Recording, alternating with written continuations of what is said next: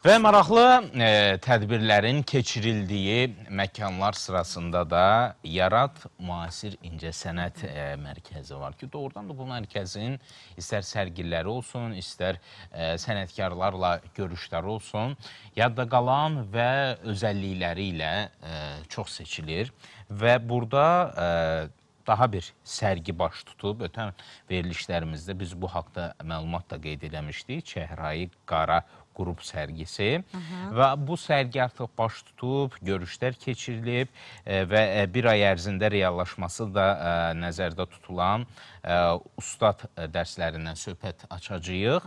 Qonağımız Amma o tədbirlər sırasında daha bir maraqlı tədbir muzey gecəsi, xüsusilə ənənəvi olan və illərlə də artıq başqa ölkələrdə də və bizim ölkədə də keçirilən muzey gecəsindən söhbət açacağıq. Elə qonağımız muzey gecəsi layihəsinin meneceri Aydan Dəvəli Məhəmmədi dəvət etmişik. Elə onunla bərabər bu barədə söhbət açacağıq muzey gecəsindən.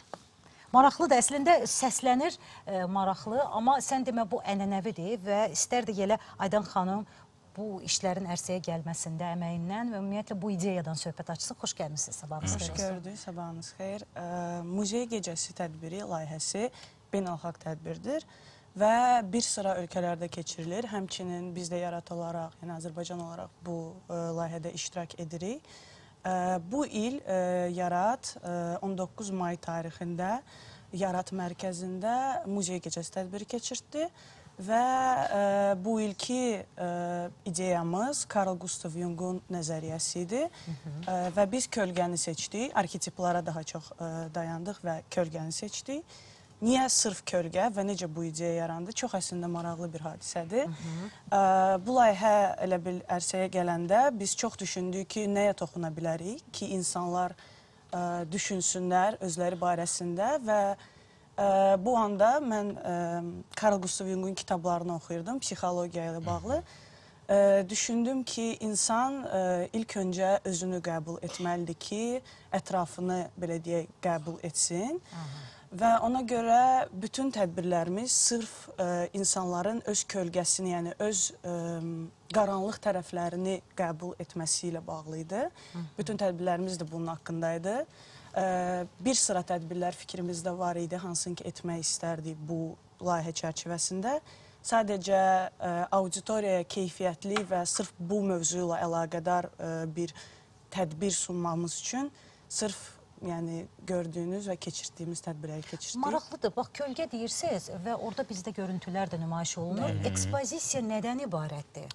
Yəni insan ö, öz kölgəsini çəkir, yoxsa insan e, kölgəsini tanımaq istəyir? Maraqlıdır. Ə, Belə danışım sizə. Ə, Bir sıra tədbirlərimiz keçdi. Onların arasında ə, master ustad dərsləri keçirilmişdi. Ustad dərslərinin arasında Ramal Kazımın Ruhun Aynası ə, ustad dərsi idi. Burada insanlar güzgüyə baxaraq öz portretlərini çəkirdilər, yəni avtoportretlərini. Yəni biz öyrəşmişik ki, güzgüyə baxanda bir belə deyək sima görək, lakin ə, öz belə deyək cizgilərimizi o güzgüdə əks etdirdikdə və ona ə, başqa prizmadan baxanda tamamilə başqa bir insan qa- qarşımıza çıxır. Yəni bizim o ə, belə deyək fırça ilə çəkdiyimiz insan yox, sırf o kölgəsi və tamamilə başqa bir obraz yaranır. Yəni bizim əsas məqsədimiz öz-özünü da, da, daha yaxından tanıyır da, belə deyək. Bəli, tam doğrudur. Daha yaxından, daha öz qaranlıq tərəfini ə, qarşısına çıxardır. Çünki biz ə, bəzi insanlar var ki, güzgüyə baxdıqda özlərini komfortda hiss etmirlər, rahat hiss etmirlər. Ə, çəkinirlər və yaxud da ki, baxmırlar. Biz də insanlara belə bir şans verdik ki, insanlar baxsınlar özlərinə, çəksinlər və özlərini başqa cür görsünlər. Əslində çox maraqlı addımdır. Çünki e, bax qeyd elədiniz, insanlar e, insan özü-özünü görməkdə bir balaca çətinlik çəkir normalda həyatda. Bəli. Və psixologiyanın vacib nüanslarından biridir ki, özünə kənardan baxa bilmək. Bəli, tamamilə doğrudur.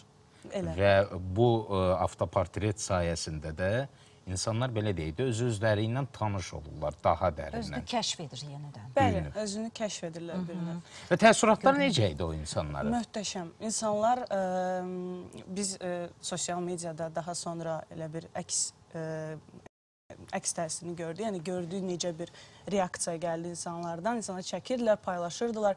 Hər kəs sadəcə başa düşmürdü ki, bu necə baş verə bilər ki, mən axı bunu əks etdirməmişdim. Heç fikrini e, açıq şəkildə e, etiraf eləyən, deyən oldumu ki, mən özümü heç bu formada təsəvvür eləmirdim, amma Əlbəttə ki, elə oldu. Bizdə ə, bundan əlavə ə, psixoloq ilə mandala terapiya keçirilmişdi. Ə, orada insanlar, ə, yəni Karl Gustav Jung'un ə, öz terapiyasıdır. Yəni bu onu elə bir ki, ərsəyə gətirib.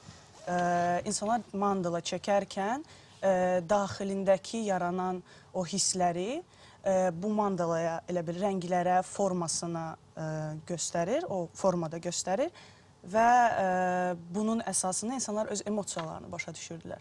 Əslində dərinliyimizdə nə hiss etdirdiyimizi, nə hiss ə, etdiyimizi çıxardırıq.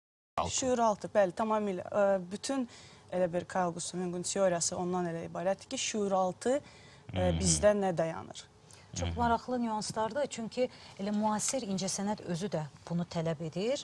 İnsanın ə, yaşantıları, psixoloji halı birbaşa sənətə çökür Bəli. və orada öz əksini tapır ki, müasir incəsənət mərkəzinin təqdimatında da bu cür layihələrin reallaşması doğrudan da bir həqiqətdir və biz düşünürük ki, insan sadəcə sənətə tamaşa etmək deyil, orada özünü tapmaq və özünü orada axtarmaq kimi nüanslar da əldə edə bilər ki, elə bu Yarat Müasir İncəsənət Mərkəzində baş tutan muzey gecəsində növbəti dəfə reallaşdı və gələcəkdə də yəqin ki, buna bağlı olan və buna bənzər ə, ideyalarınız reallaşacaq. Bəli, əlbəttə ki, hər il oldu, ə, hər il etdiyimiz kimi ə, gələn ildə və digər illərdə ə, bizim planımızda bu var, etmək istəyirik. Ə, və məsəl üçün bu il bizim ə, əsas bir məqamlarımızda nə oldu ki, iki xarici qrupu bura gətirmişdik. Gürcüstandan Mokumokunu və ə, Türkiyədən Kolit, ə, sorry, ə, üzr istəyirəm, Row bəndini gətirmişdik bura. Ə, və m, bizim üçün bir belə deyək muzey gecəsinin bir yenilik idi. Gələn ildə tamaşaçılara deyə bilərəm ki, gözləsinlər, daha da maraqlı bir proqramla qarşısına, qarşınıza çıxacağıq. Ona görə gözləyin, baxın. Təşəkkür, Təşəkkür edirik. Aydan xanım. Minnətdarıq və doğrudan da gördüyünüz işlər, gördüyünüz layihələr çox maraqlıdır və e, ictimaiyyət üçün çox faydalıdır ən əsası. Çünki e, psixologiya çox insanın ə, öyrənmək istəyib də Cənabdır, ancaq bəli. ə, bir növ cəhd eləmədiyi bir sahədir. Çünki ə, bəzən olur ki, psixologiyada insan öz özü ilə qarşılaşanda bir balaca qorxu deyə bir şey yaşayır. Ən əsası da odur ki, biz e, adət etmişik, bax belə sərgi salonlarında və xüsusilə də e, müxtəlif məkanlarda sənət insanları toplaşsın, amma bu tamam fərqli layihələrdir. Doğrudur. Burada e, müxtəlif sferadan, sahələrdən olan insanlar bir araya gəlirlər, özlərini tapmaq, həm də incəsənətdə olmaq kimi şans əldə edirlər. Təşəkkür edirik Aydan xanım, Muzey Gecəsi layihəsinin meneceri Aydan Dəvəli Məhəmmədi bizimlə bu səhər qonaq idi. Uğurlar sizə. Təşəkkür edirik.